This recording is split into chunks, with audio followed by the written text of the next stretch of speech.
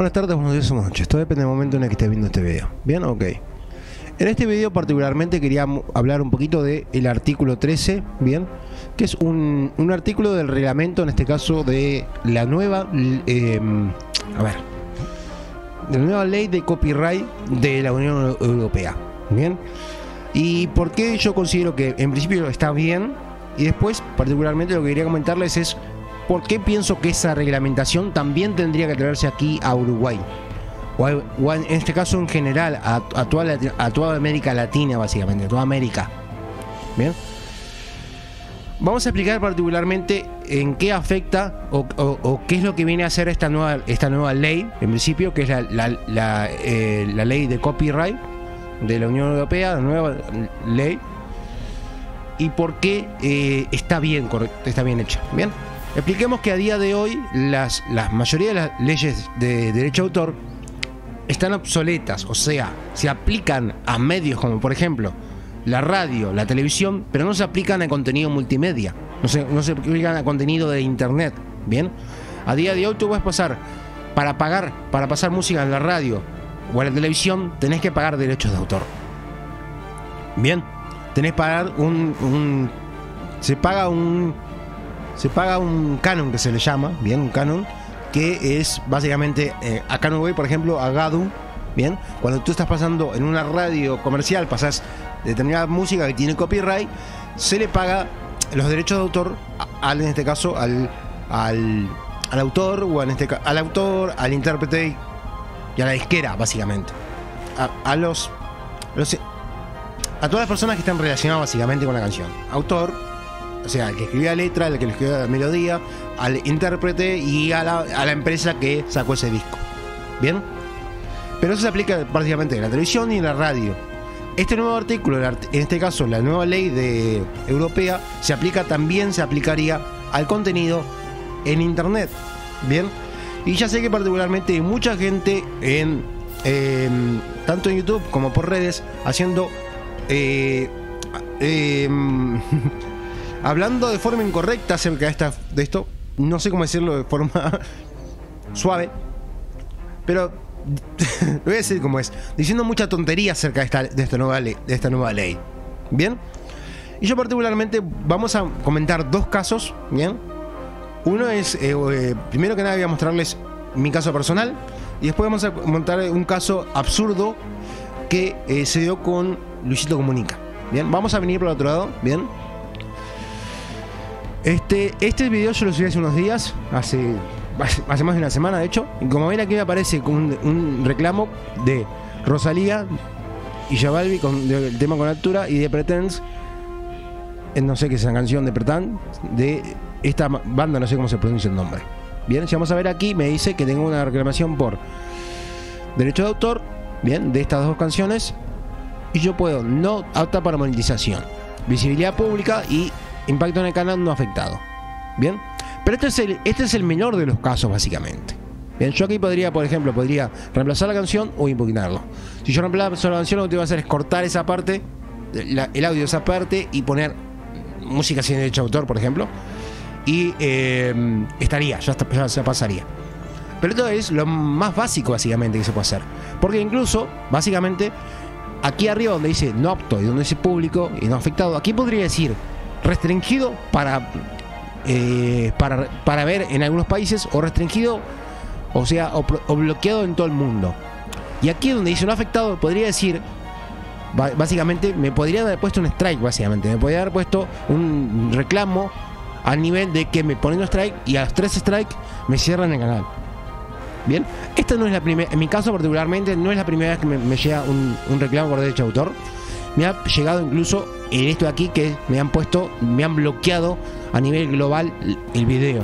Bien, ¿con qué me pasó eso? Recuerdo me pasó con, con un video que hice acerca de, de Final Fantasy 13 y otro video que hice acerca de em, Super Mario Odyssey. Bien, cuando salió las primeras, los trailers de Super Mario Odyssey y yo hice un video hablando de, de ese juego, un poquito desde el punto de vista de desarrollo, bien, reaccionando un poco a ese contenido a mí me pusieron Nintendo me puso, me puso un bloqueo básicamente. Ese video lo impugné incluso y no hubo caso, lo perdí. Bien.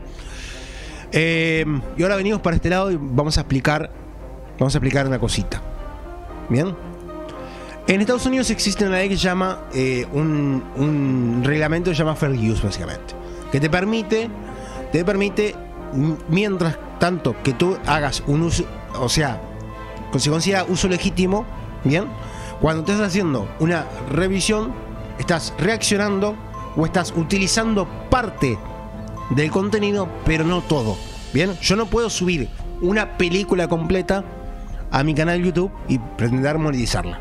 Bien, porque eso sería ilegítimo, sería uso legítimo. Eso sí sería plausible que me hicieran una denuncia por copyright. Ahora, lo que yo sí puedo hacer es hacer una reacción a esa película o puedo hacer una, una, una review de esa, de esa película tomando fragmentos de la película, bien, eso sí lo puedo hacer. O puedo hacer, particularmente, agarrar un video, un videoclip, ir parando cada tanto, yo en un costadito, ir comentando. Eso sí se puede hacer. Eso es uso legítimo. Por lo menos en Estados Unidos. Bien. Que fue básicamente lo que yo hice en este video. En este video básicamente yo estoy reaccionando. Estoy yo en un rinconcito. Está de grande el, video, pero voy cortando, yo voy parando. No, no puse el video completo, sino que voy reaccionando. Por lo tanto, eso sería aplicaría dentro del uso legítimo. Yo particularmente no voy a impugnar esto porque a mí me da igual que no ese video no esté monetizado. Me da lo mismo. A mí lo que me molestaría es que me hubieran puesto, me hubieran, bloqueo, me puesto, me hubieran puesto bloqueo a nivel global o a nivel local o lo que sea, o si me hubieran tirado un, puesto un strike. Ahí sí lo impugnaría. ¿Bien? De momento así como está no voy a impugnarlo. Pero ¿por qué pasa esto? Porque el de, claro, detalle de esto es que fair use que yo le digo se utiliza únicamente en Estados Unidos. Es una ley de Estados Unidos.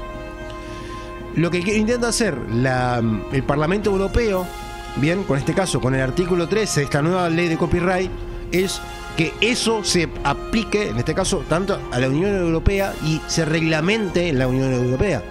Y por eso ese tipo de cosas tendrían que poder venir a, parlamentos acá a nivel, a nivel uruguayo o en este caso seguramente a nivel de Mercosur cosas por el estilo. ¿Bien? Eso tendría que poder aplicarse. ¿Por qué? Para que, en principio, si tú estás haciendo contenido, generando contenido con, con cosas de tercero, como pueden ser los memes, ¿bien? Este, este nuevo, esta nueva, básicamente, esta nueva reglamentación a nivel europeo está a favor de los memes, defiende los memes y defiende el contenido, defiende la gente que está haciendo contenido a partir de otro contenido pero generando nuevo contenido. Como ya digo, puede ser los memes, puede ser las video reacciones, o en este caso las parodias. Bien, si tú mañana, el día de mañana, se te ocurre, por ejemplo, eh, si estás haciendo, estás haciendo un cover de Despacito, bien, estás haciendo un cover de Despacito, o si estás haciendo una parodia de Despacito, por ejemplo, o de, cualquier canción que moda en el momento, eso estaría dentro del uso legítimo. Porque al fin y al cabo lo que estás haciendo es, estás modificando el contenido original. Bien, no estás, no estás haciendo, no estás subiendo, resumiendo contenido original y queriéndole poner tus derechos de autor. Bien, pero aquí particularmente vamos a encontrar con un detalle, algo interesante que le pasó hace un tiempito, hace, unos meses atrás, a el usuario eh, Luisito Comunica. Bien, Luisito Comunica hizo una entrevista para un canal de televisión y en ese, esa entrevista él se dio, se dio algunas de sus videos. Bien, aparecían algunos de sus videos, algo de contenido de su canal propio, aparecía en esa entrevista.